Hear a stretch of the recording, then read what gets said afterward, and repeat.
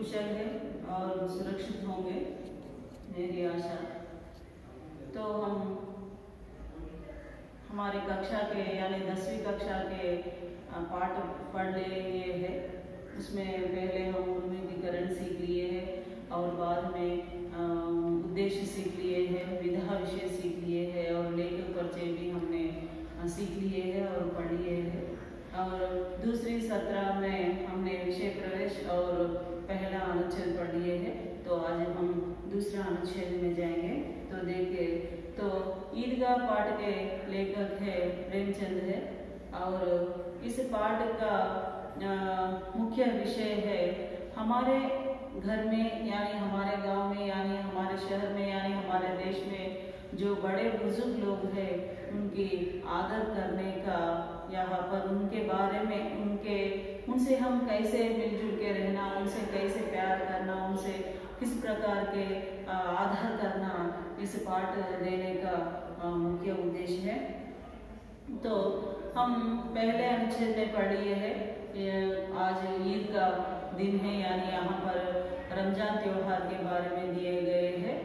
रमज़ान त्योहार के दिन सब ईदगाह जाने की तैयारियाँ कर रहे हैं। तो देखिए, मैं दूसरा अनुच्छेद पढ़ रही हूँ। आप सभी अपने पाठ्य पुस्तक निकाल कर देखिए और जो भी मैं भाषा की बात लिखती हूँ, उसे लिखने की प्रयत्न कीजिए अपनी उत्तर पुस्तिका में। लड़के सबसे ज़्यादा प्रसन्न है। बार बार जेब से खजाना निकाल कर गिनते हैं। मोहम्मद गिनता है एक, दो, दस, बारह, उसके पास बारह पैसे है। मोहसिन के पास पंद्रह पैसे है। इनसे अनगिनत चीज़ें लाएँगे। खिलौने, मिठाइयाँ, बिगुल, गेंद और ना जाने क्या क्या। और सबसे ज़्यादा प्रसन्न है हामिद। वह बोली सूरत का चार पाँच साल का दुबला पतला लड़का था। उसका पिता गत वर्ष हैजे की बेंट हो गया और माँ ना जाने क्यों पीली पड़ती गई और एक दिन वह भी परलो सीधार गई। किसी को पता ना चला कि आखिर अचानक यहाँ क्या हुआ तो देखिए हमने पढ़ लिए है आज ईद का दिन है अ, ईद के दिन सबसे ज्यादा प्रसन्न कौन रहते हैं हमारे परिवार में यानी बच्चे अ, बहुत ప్రసన్న रहते हैं అంటే పిల్లలు చూడండి సాధారణంగా పండుగలు అంటే ఎక్కువగా విద్యార్థులకి పండుగలు అంటే చాలా ఇష్టం ఎందుకంటే ఆ రోజు వాళ్ళు చక్కగా కొత్త బట్టలు ధరిస్తారు చక్కగా రెడీ అవుతారు తర్వాత ఫ్రెండ్స్తో ఆడుకుంటారు.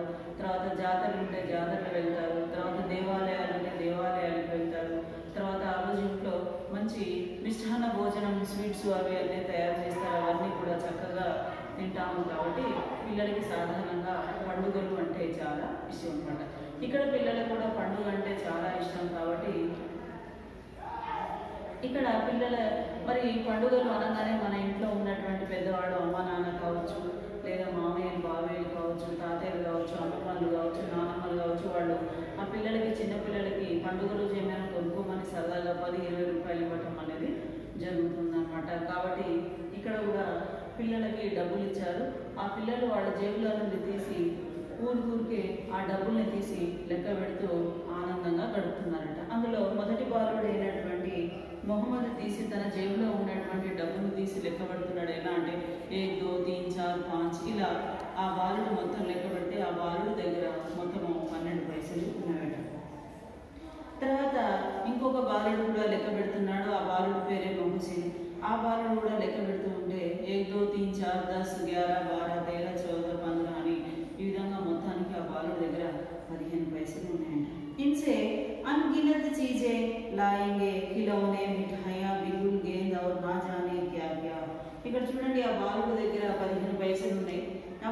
పైసలలో ఆ పిల్లవాడు ఏమేమి కొనుక్కోవాలని అన్గినత్ అంటే అన్గినత్ గిన్నా అంటే లెక్క పెట్టడం అన్నమాట. అన్గినత్ అంటే లెక్కలేనటువంటి వస్తువులు కొనుక్కుంటా అంటున్నాడు. ఆ లెక్కలేనటువంటి వస్తువులు ఆ బాలు ఏమేమి కొనుక్కోవాలనుకుంటున్నాడు అంటే మిఠాయిలు కొనుక్కోవాలనుకుంటున్నాడు తర్వాత ఖిలోనే ఆట బొమ్మలు కొనుక్కోవాలనుకుంటున్నాడు బిగుల్ విజిల్ కొనుక్కోవాలనుకుంటున్నాడు గేమ్ బాల్ కొనుక్కోవాలనుకుంటున్నాడు ఇలా ఇష్టంగా ఇంకా ఏమేమి కొనాలా అని ఆలోచిస్తూ అంటే ఇక్కడ పిల్లలు చూడండి అన్గినల్ అనేటువంటి ఈ పదం ఇచ్చేసి మనకి భాషాకి బాధలో ఒక బిట్ వస్తుంది అనమాట ఉపసర్గ. ఉపసర్గ అనేటువంటిది ఇస్తాడు. అన్గినల్ ఇచ్చేసి ఉపసర్గ గుర్తించండి అంటే ఇందులో మనం అన్ గుర్తించాలన్నమాట. అన్ అంటే ఉపసర్గ అంటే ఏంటి? పదములోని మొదటి అక్షరము లేదా రెండో అక్షరము. ఈ రెండు పోగా వేరే ఒక పదం వస్తుంది అనమాట దానినే ఉపసర్గం అంటారు. అంగినత అంటే లెక్కలేనని అని తీసేస్తే గీనత్ అంటే లెక్కించలేను అనమాట కాబట్టి ఇది అంగినత్ అనేటువంటిది వస్తుంది అనమాట తర్వాత కొనుక్కోవాలనుకుంటున్నాడు. ఓ సబ్సే జాదా ప్రాసన్ హే హామీ అయితే ఇప్పుడు మన పాఠంలోకి వచ్చేసాము. ఈ ఈద్గా అనేటువంటి పాఠంలో అసలు పాఠం అంతా కూడా ఈ పిల్లవాడి చుట్టూ తిరుగుతుంది ఆ బాలుడి పేరే హామీ ఈ హామీలు ఈ మొహసిన్ మొహమ్మద్ కంటే కూడా చాలా ఆనందంగా ఉన్నారండి అయితే పిల్లలు ఇక్కడ గుర్తుంచుకోవాల్సిన విషయం ఏంటి అంటే ఒక్కొక్కసారి మీకు బోర్డ్ ఎగ్జామ్లో ఏ విధంగా ఉంటుంది అంటే క్వశ్చన్ పేపర్ చూడండి. క్వశ్చన్ పేపర్లో మొత్తం ఏడు సీరియల్ నెంబర్స్ ఉంటాయి. అందులో ఏడు సీరియల్ నెంబర్ మనకి ఏడు మార్కులు ఉంటుంది. సృజనాత్మకత అంటే స్వీయ రచనలు అనమాట ఒక విష- విషయం ఇచ్చేసి దాని గురించి మీరు సొంతంగా రాయవాలి అందులో వార్తాల అంటే సంభాషణ ఏకాంగి నాటకాలు పత్ర ఉత్తరము నిబంధ వ్యాసము పోస్టర్ అంటే పోస్టర్ తర్వాత నారే అంటే నినాదాలు ఏడు సాక్షాత్కారం ఈ విధంగా ఈ ఏడు అంశాల గురించి మీకు ఇవ్వటం జరుగుతుంది. వీటి ఈ ఏడు విషయాల నుంచి ఏదైనా ఒకటి మీకు వస్తుందన్నమాట. కాబట్టి ఇక్కడ ఏకాంకి ఇక్కడ వార్తాలాప్ కనుక తీసుకుంటే వార్తాలాప్ అంటే సంభాషణ అనమాట అయితే ఈ అనుచరులో మనం గమనిస్తే మొహసిన్ మొహమ్మద్ హామీద్ అనేటువంటి ఈ ముగ్గురు బాలురు ఉన్నారు. వీళ్ళ మధ్యలో జరిగినటువంటి విషయాన్ని వార్తాలాప్ రూపంలో రాయండి అని ఒక రెండు ఆ, లైన్లు ఇచ్చేసి మీకు దాన్ని సొంతంగా రాయమని చెప్తాడనమాట అప్పుడు మీరు రాసేటువంటి ప్రయత్నం చేయాలి తర్వాత और सबसे ज्यादा प्रसन्न है हामी ఆ, ఇక్కడ ప్రసన్న కింద మనం చూస్తే ప్రసన్న అంటే సంతోషము దీనికి విలోమ చేసి వచ్చేసి ప్రసన్న అంటే సంతోషంగా లేకపోవడం వాళ్ళ వహ బోలీ సూడలుగా చారపాంసాలుగా దుర్లా పత్రాలు నడకాత హమీద్ ఎలా ఉన్నాడంట బోలీ సూరత్. సూరత్ అంటే ఆ బాలుడి యొక్క మొహం చూడడానికి చాలా